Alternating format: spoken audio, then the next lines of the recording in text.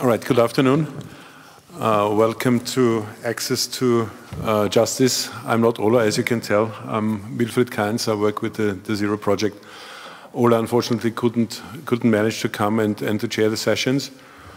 Um, I would like to welcome you and introduce you also to, the, to our timekeeper. Uh, we have had very strict uh, guidelines for the, for the presentations in order to give everybody a fair chance. So if there is some sirens or some warning lights, don't be afraid.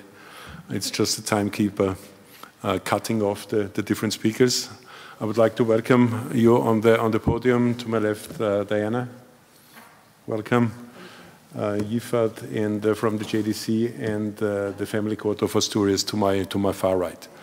So in order not to lose any time and not to keep you from the sandwiches waiting outside, uh, I would like to start and I hand over to you, Diana, please. Thank you, Wilfried. Let me see if I can get the. You should see it over there. Ah. Luxury. Wonderful. okay, thank you, uh, Wilfried. Good afternoon, everyone. I'm very honored to have been invited to be on this panel with such esteemed colleagues. Um, I myself am not a lawyer or a legal expert, um, so I'm happy that I'm seated on the panel with some who are. Um, I will be speaking about access to justice from a funder's perspective um, because I'm the founding executive director of the Disability Rights Fund and its sister organization, the Disability Rights Advocacy Fund. Um, I want to give you first a big picture view of what uh, DRF and DRAF are, and then proceed to speak ab about our funding in the area of access to justice. DRF and DRAF are global grant makers which pool funds from a diversity of donors, governments, public and private foundations, individuals, and we work with a participatory grant making model. That means that we include the beneficiary community, people with disabilities, at all levels of what we do in our governance, in our advisory, and at staff levels. Together with activists from the disability community who come from the regions and countries where we work, we make grants, we provide technical assistance, and we support advocacy at national, regional, and global levels by disabled persons organizations in Africa, Asia, Pacific, and the Caribbean. Since the launch of the fund in 2008, we have made over 1,000 grants, ranging from five to $50,000 a year, and have given out more than 25 million US dollars to 310 different organizations of people with disabilities, DPOs, across 34 countries. Because a change in how disability is viewed in the community requires a paradigm shift away from the medical model that makes persons with disabilities into objects for intervention to a social model that sees persons with disabilities as subjects and citizens who have the capacity to be actively involved in all aspects of society, including at decision making tables. All of our grants are for persons with disabilities themselves to do rights advocacy and advocacy for inclusion and development at national levels. We work across the disability spectrum but especially because we want to broaden and diversify the disability movement in the places where we work. More than 50% of our grants are given to marginalized sectors within the disability community. That is to organizations of women with disabilities, youth with disabilities, rural organizations of persons with disabilities, persons with psychosocial disabilities, albinos, little people, etc. We believe that including all voices makes the disability movement stronger. In the 10 years since launch, we've tracked all our grants by their relationship to CRPD articles, and more recently by SDG goals. We've found that four rights and goals cons are consistently emphasized in the regions where we work inclusive education, social protection, accessibility, and access to justice. Access to Justice has received 7% of our total funding. Um, so, others, thanks.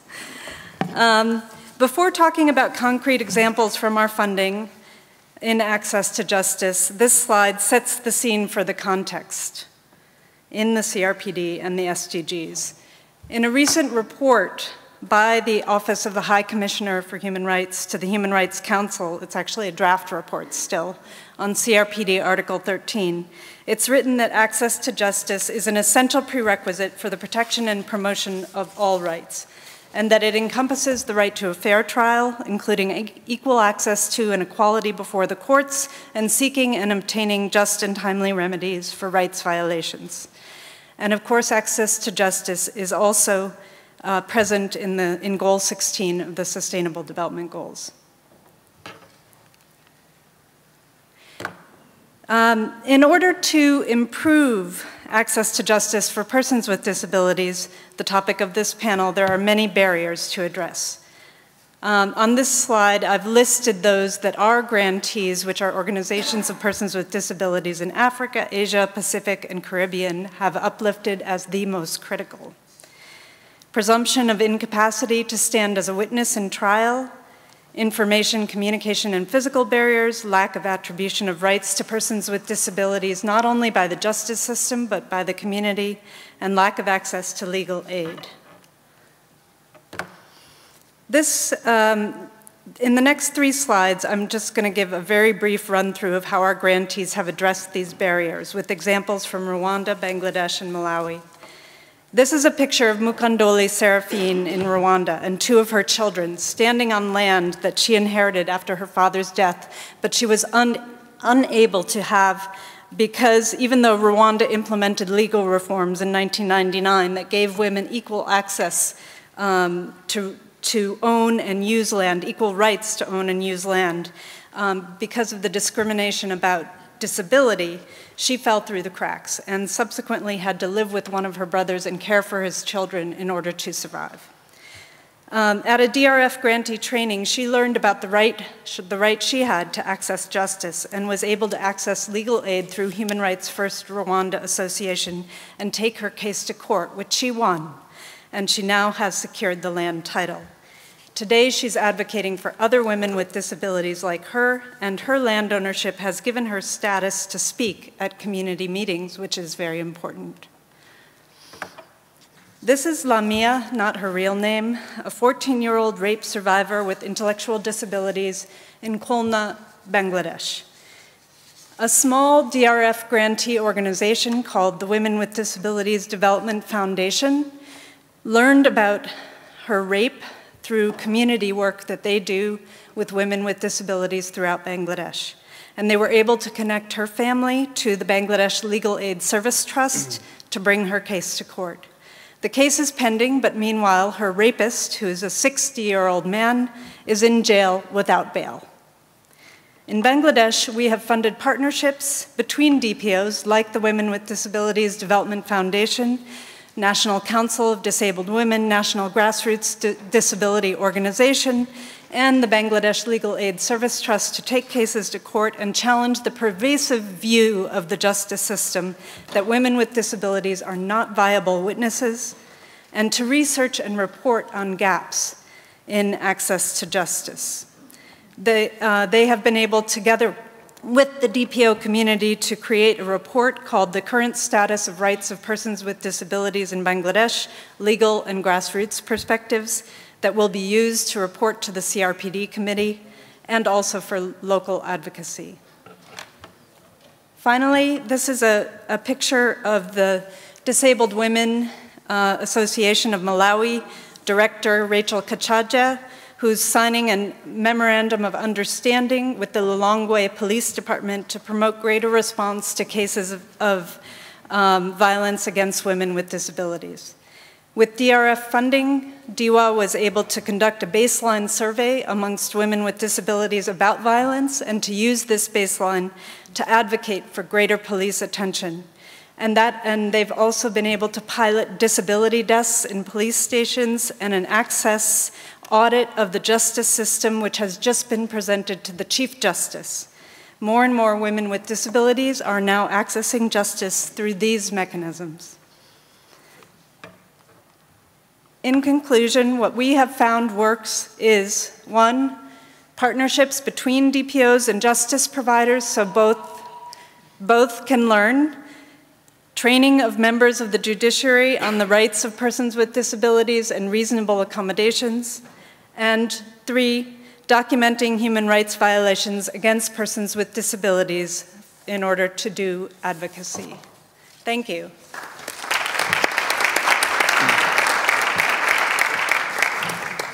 Thank you so much, Diana, for giving us insight about uh, the DRF and uh, what the money is spent on.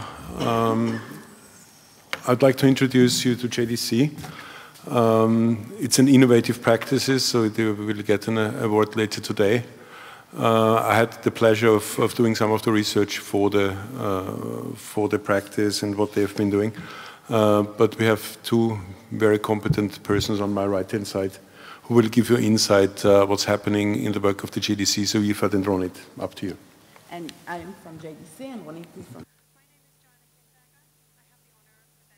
Um, I'm the child, uh, the ch the, I'm the director of the Child and Special Investigation Service in the Ministry of uh, Labor and Social Affairs in Israel. So, only the... Thank you. So this is G. He's a 17-year-old boy that learns in special education school. And when his teacher noticed a change in his behavior, she asked him what happened. He told her that another student on the school bus touched his genitals and not for the first time. G is a nonverbal speaking. He uses a communication board with symbols and drawings that represents action, people, places, and experience from his day-to-day -day life. This is his only means of communication. To the question, what happened on the school bus, there were no answers on G's communication board. Fragmented explanation through body language made it clear to the teacher that something happened that must be reported. She reported to the youth law social worker, who reported to the police, who referred to a special investigator. Special investigator is a social worker who was qualified as a child investigator, and after special training is also qualified to conduct special investigations of people with disabilities. The investigator turned to a speech language pathologist, which from now on we will call SLP, who uh, works with the ministry and is an expert in augmentative and alternative communication, which from now on we will call AAC. And uh, the SLP has an AAC kit that was specially developed for our program, uh, designed for investigation and testimony in abuse and assault cases. At the end of the investigation, G was asked how he felt regarding the process, and this thumbs up was his answer. This is a unique partnership between the government and the relevant professionals and non-profit organizations, led by the Ministry of Labor and Social Services, JDC Israel Ashalim, and the Haruv Institute, together with many others, as you can see. In the past four years, we piloted the program, keeping in mind that in the future, once we initiate the pilot program, the, it will be managed by the Ministry of Labor, Social Services, and Welfare. The law for investigation and testimony adjustment for, for people with disabilities 2005 requires that the, that the investigation of person with cognitive disability, included people with autism, will be conducted by special investigator. The law also says that the investigation can be conducted using eh, AAC. The investigation is filmed and the video can sometimes serve as a substitute for testimony the special investigator provides the recommendation for appropriate conditions and accommodations. Until this law, all G's social worker could have done was to turn to the family, develop a protection plan together with the school, refer to treatment, and follow up on it. She did not have the option to turn to a cognitive to a special investigator who would know how to investigate person with cognitive disabilities through his language. Uh, when someone with disability submits a complaint to the police, it is referred to a special investigator. The special investigator collects background information about the person and the suspected crime. When necessary, calls SLP, who gather additional information on communication ability and needs of the individual. They plan and conduct the investigation together. This is unique from all our other investigations. Since every every communication board is different and the investigation person usually doesn't have the vocabulary on his board, a tailor-made eh, board is created for each person based on their existing board. We have now trained eight special investigators who can investigate AAC users, and we call them very special investigators. We also have 14 SLPs who graduate our course. The pilot lasted four years, in which we developed an organizational and professional platform by writing protocol, conducting training for special investigators and SLP and developing AAC kits for investigation and buying relevant technological equipment, computer, iPad. Uh, we needed to develop an investigation style that accommodate, accommodates uh, communication tools and can be admissible in court while minimizing suggestibility. We also needed to raise awareness among uh, professionals in order to ensure that they recommend the service to potential uh, users. Of, all of this was accompanied, accompanied by two studies. Uh, when we started the pilot in 2011, we only had three AAC users referred to investigation. The number of the referrals in the fifth year was 600% uh, uh bigger, and we believe that the number will grow even more. We want to reach every AAC uh, user who needs to be investigated as victim, witness, or suspect. So this research looked at the methods through which the special investigator conducted the investigation with the support of the SLP, as well as the information collected and the results attained. In the majority of the investigations, significant, relevant information was discovered. Yet, these investigations uh, attained less details compared to those involving people with other disabilities.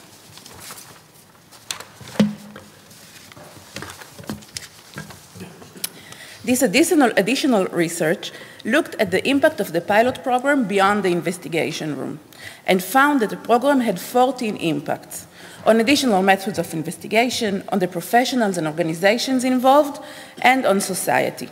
Among them are these six impacts promoting the value of justice, increasing access to justice, revealing the truth, stopping the abuse and offering therapy, increasing personal safety and confidence of people with disabilities and their families, developing new professionals, and raising awareness for healthy sexual behavior within the special education system.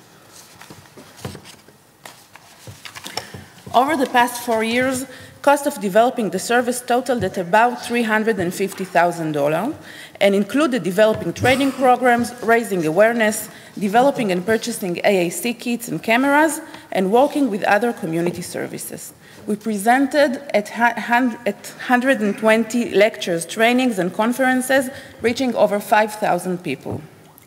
The ongoing service demands more working hours on behalf of the special investigators and SLPs, as well as maintenance of a second camera. This will total at about $28,000 a year, so can be done.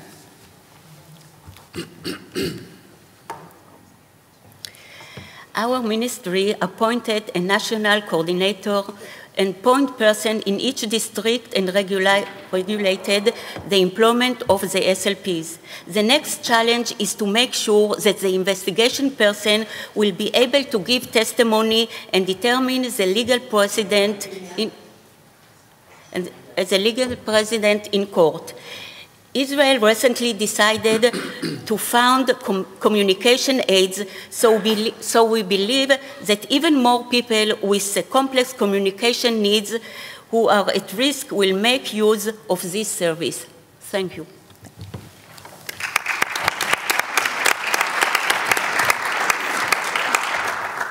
Thank you so much for shedding the light in a very unique cooperation, I think, from the from the state and the, and, and the private service provider in uh, getting better access to justice. Uh, the third uh, party on the on the panel here is the Family Court of Asturias. This is a Spanish province in the north of Spain, and a company called Plena Inclusión. And Juan Carlos, please tell you what you have been doing. No, Casilda is. Casilda. Yes. Good morning.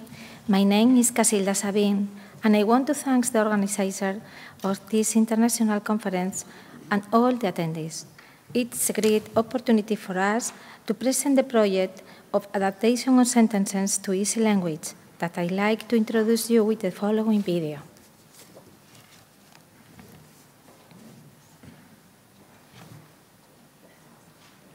Court verdicts in easy language.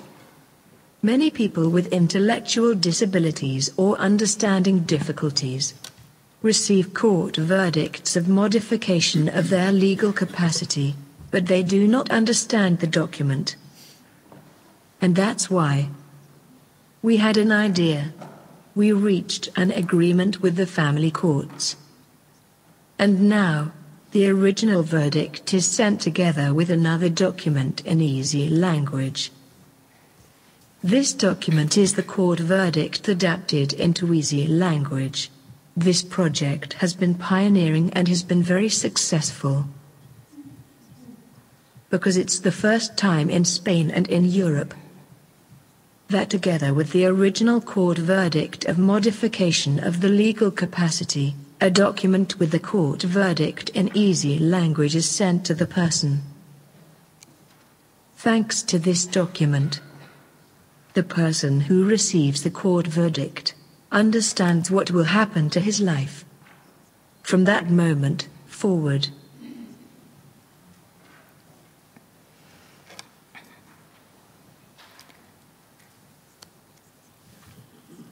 Plena Inclusion is a national organization born 53 years ago for the defense of all rights of people with intellectual disabilities.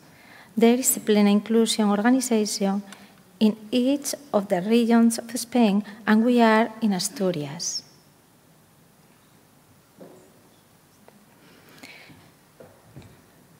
We all work in a network thanks to the same objective, and we try to generate positive change in society that allow the full inclusion of the collective. A project of adaptation of sentences in easy reading is born of a commitment to make the world a more unstable place, not only by right, but to create a good for all citizens, and especially people with intellectual disabilities, elderly people, migrants, and other groups with understanding difficulties. Most people have many problems to understand legal documents because of their complexity, and it's more difficult for people with understanding difficulties. Especially in the sector in which we work, people have had or will have a moment in their lives in which the relief or the corresponding court for a possible modification of their legal. Sorry.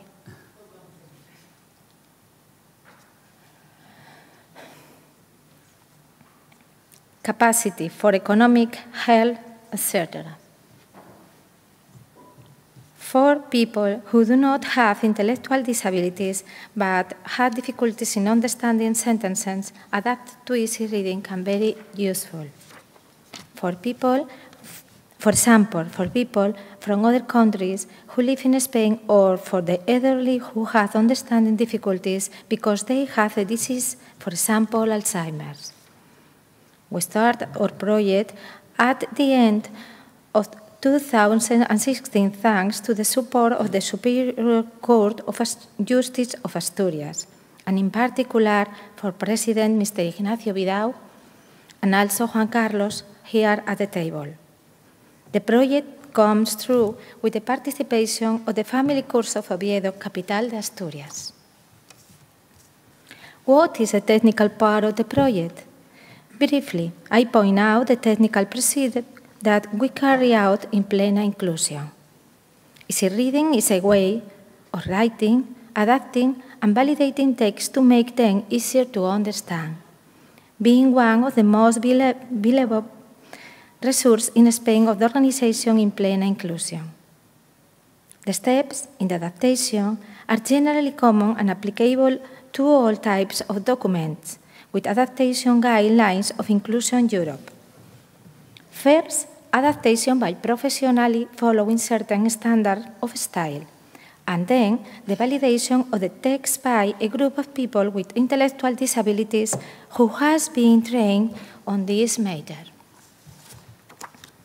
This is an example of the type of sentences we receive from the court, and this one is an example of the easy language version we send back. You can perceive the difference between both documents. It's essential to highlight to active, the active participation of people with intellectual disabilities. They will be the ones who will say whether a document is understood or not. The, this project has been a pioneer. It is the first time in Spain and in Europe that together with the original court verdict of the modification of legal capacity, a document is delivered with the verdict in easy language. It is also the first to have the participation of all parties involved in the process of changing the legal capacity of specific persons. The person whose capacity will be modified they are families, lawyers, and magistrates. And it has had a very positive re reception for all of them. In addition, carry out this project is Asturias has been a first step for other provinces in Spain. Begin to the same and other courts begin to adapt the sentences to easy language. This project has had an important impact in the national level. As I mentioned before, it has been a first step for provinces to begin to do the same and for other courts to begin to adapt sentences to easy reading. And we hope that soon adaptation of all kinds of legal documents will be made in which a person with intellectual disabilities is affected.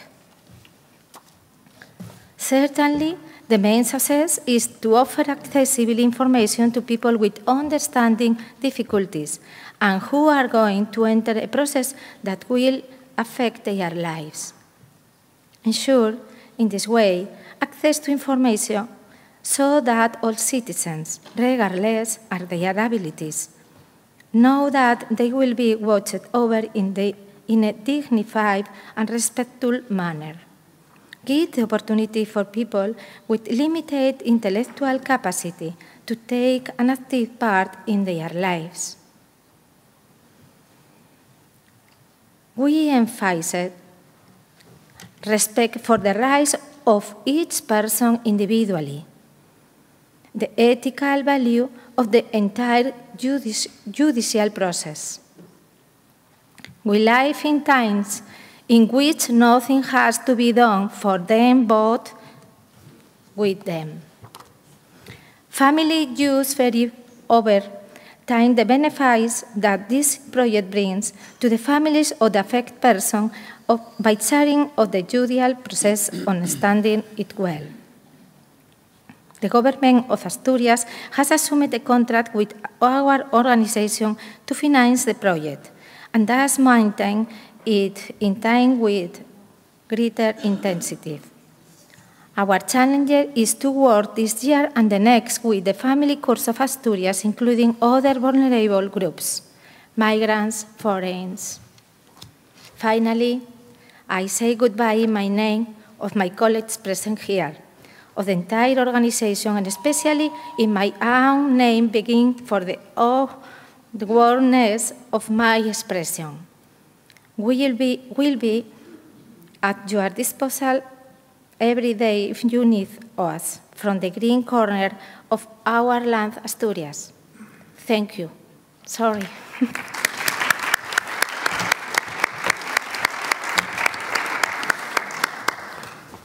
Thank you so much for shedding some light to the work of, of Plena Inclusión. And now, Juan Carlos, it's over to you from the Family Court of Asturias in, in Spain, please.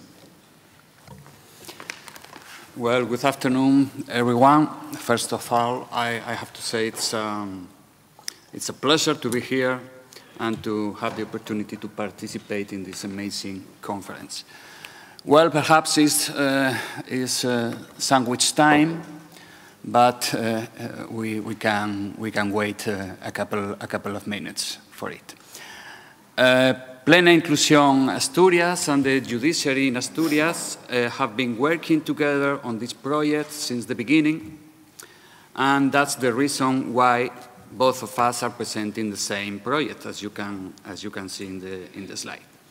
I am a judge in Spain, I work in a court, and I have been a judge for the last 24 years. Uh, Casilda, the representative of Plena Inclusión Asturias, has just explained this project. And of course, I'm not going to repeat the same explanation. I'm only going to talk about uh, my experience, my impression as a member of the court.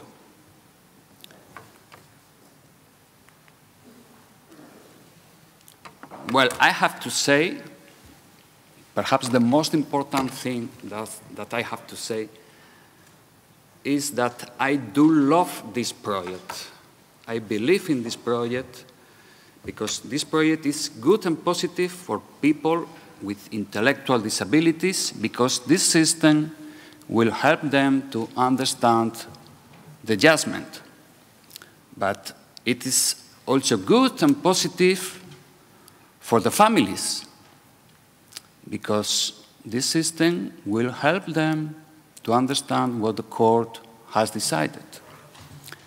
It's also good and positive for the court, for the judiciary, because we need to be sure that the citizen has understood the judgment. And finally, it's also good and positive for other persons with disabilities because it will be an opportunity to access to the employment as a member of the validation team. So we are making the most of this, of this project. During these minutes, perhaps I, I, I, don't, I don't have nine minutes now, uh, I'm going to talk about these four main points. We can, we can go directly, directly for the first one. Yes. Well, access to the justice system is not only about uh, a legal or a physical access. It's not enough to break down the legal or physical barriers. We need to improve communication and be sure that the citizen understood what the court decided about him or her. The legal language is difficult to understand for everyone, even for the judges. Okay? Sometimes I don't understand the judgment of another judge. Okay. Uh, well, it's difficult for everyone, but particularly for people with intellectual uh, disabilities. Uh, we are trying to ensure the law becomes a reality because, well, we, can, we may have uh, hundreds of laws, thousands of laws, many laws, but the most important thing is that uh, the law has a present in the real life of the people. The law become a reality.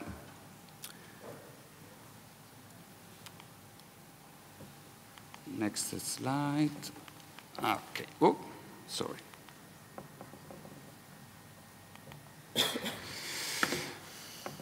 well, we are talking about uh, easy language, and we have to make it easy. So the easiest way is these three questions and answers. What do we want to do? Well, to make court verdicts and summonses easy to understand.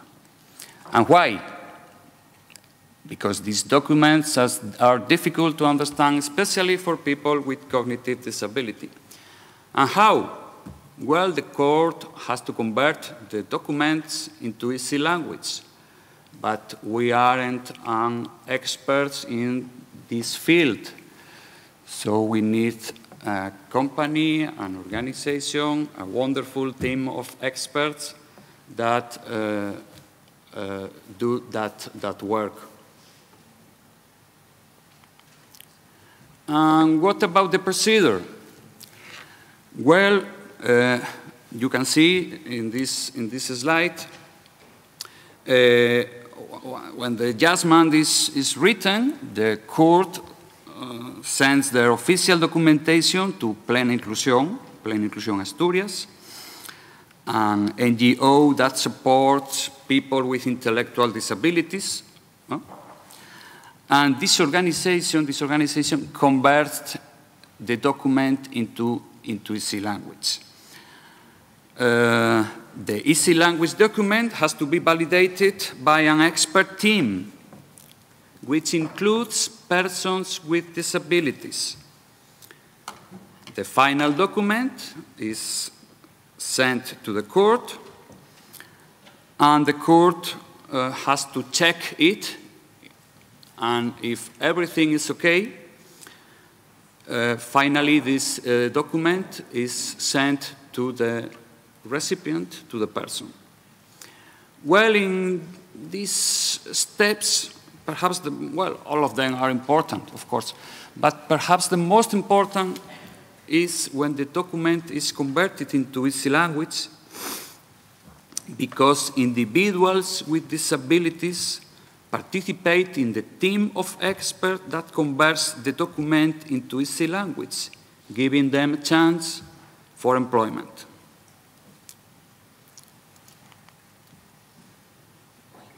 Next one. Okay. Well, two key aspects of this project. Of course, if you if you want to do the same in, in your country, I, I, I hope you you will you will want it. Uh, you will need a company or an organization which converts the document into easy language.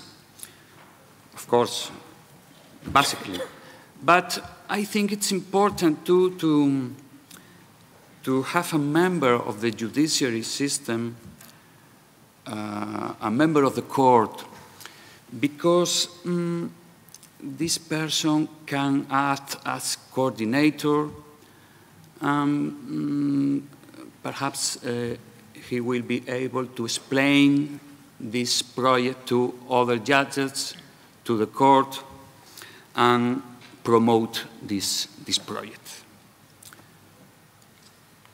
And finally, the, the, the current situation. Um, Casilda has just uh, spoken about our successful pilot in, in Oviedo. And other uh, regions of Spain are reproducing this project, and the Spanish General Council for the Judiciary are planning to extend this project to all to all Spain. And what about the future?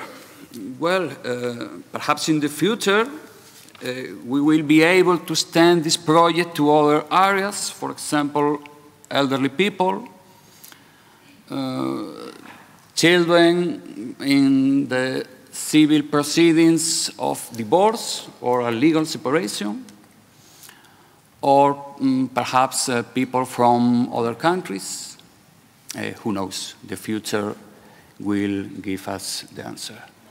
And well, that's all. Thanks a lot for your attention, and thanks for the Zero Project Conference for this invitation. Thank you.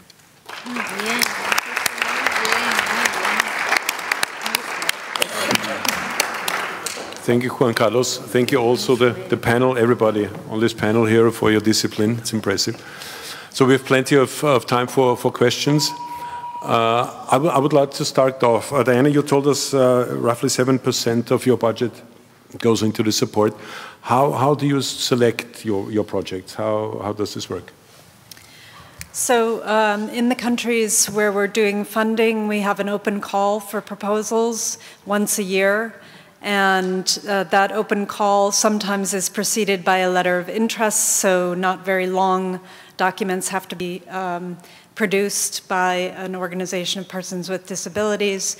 Um, we select um, the, some of the projects um, among staff. Um, many of my staff are come from the disability movement themselves and are in uh, Africa, Indonesia, Haiti. So they're uh, very much part of the context and they're aware of the organizations and the networks. Um, so are able to identify organizations that are viable and not just suitcase organizations, as they say. Um, then uh, my staff write grant recommendations, which go to our grant making committee, which is uh, half uh, leaders with disabilities and half donor representatives.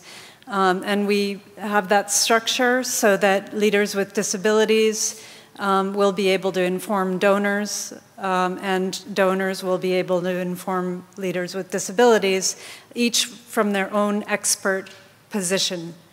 Um, and they uh, review all the grant recommendations, make decisions um, on which grants will be funded, um, and that is a once a year process. Most of our grants, 70% of them are repeat grants, so in places where we've been 10 years now, um, we've had grantees over a 10 year period. Because we're funding rights advocacy, um, policy change, legal change, um, change of government services, it takes a long time. And we recognize that. We support organizations over a longer period of time. Wonderful, thank you. Uh, Yifat, I would like to ask you, I mean, you have a, a cooperation between the ministry and, uh, and your organization. Uh, what role does the police play or how, how they direct this, to this new method? So the police was a partner in this program. Okay. They were part of us. Of course, they support that. In Israel, as child, investi child investigations are conducted by, by uh, social workers, it's the department that Ronit is in charge on. And in the police, we have two kinds of investigators, uh, youth investigators and adults investigators. The problem that the police had, that all of us had in the program, and we tried to partly answer it in the, in the program, was that when someone comes to the police, they don't always know that they have disability, mainly in cognitive disabilities and in ASD.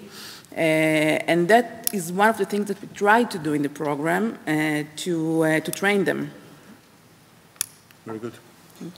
Thank you. Please, questions from the audience. Please raise your hand. Go ahead.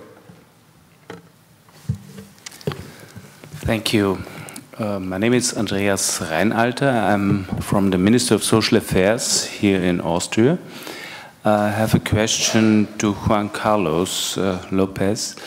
Um, you mentioned that uh, after the process you got the feedback from from the experts. Um, um, what what uh, you mentioned there are if there are no problems uh, you finalize it. Uh, uh, what is if you, if there are problems? Uh, how do do you deal with that?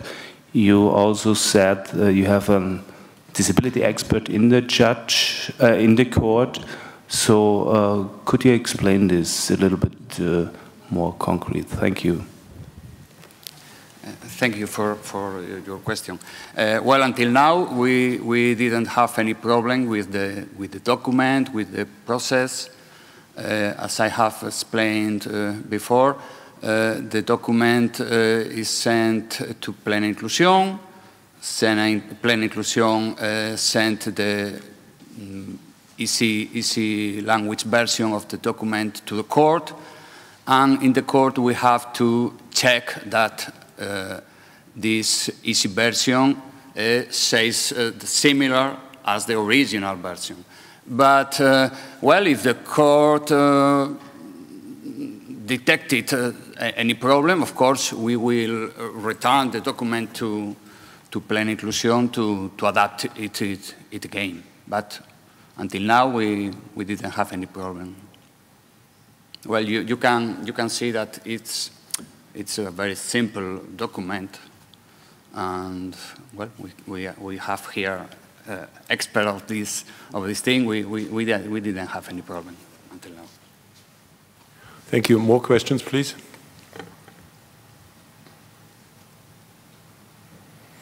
Yes, Michael. So, uh, Mikael Snaprud, uh, Tingtun Norway. Uh, I'm curious about the uh, approach in Spain. If you are looking into automated conversion from the court language to easy language uh, by compiling the examples and then feeding into machine learning.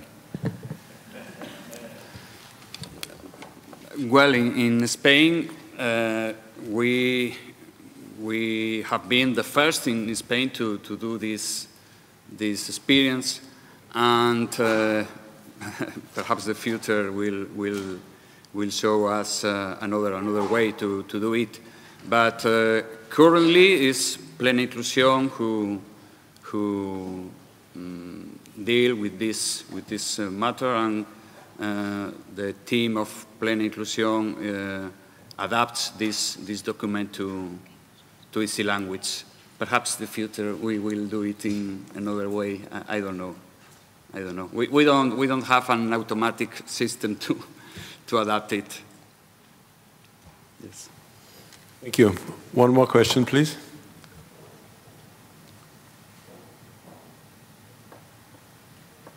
Then I'll do the last one. Casilda, uh, it seems that Plena Inclusión is like a, a box of miracles. So uh, do you have lawyers uh, amongst your staff, or how, how big is your organization, and, and, and what's the, the, the qualifications? Um, uh, Plena Inclusión has uh, one or three collabor colaboradores, but um, no, uh, no personal uh, contratado. Sorry, sorry.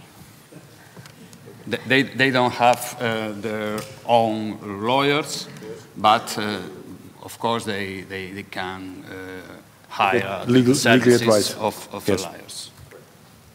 Okay, thank you very much. A round of applause for the panel, please.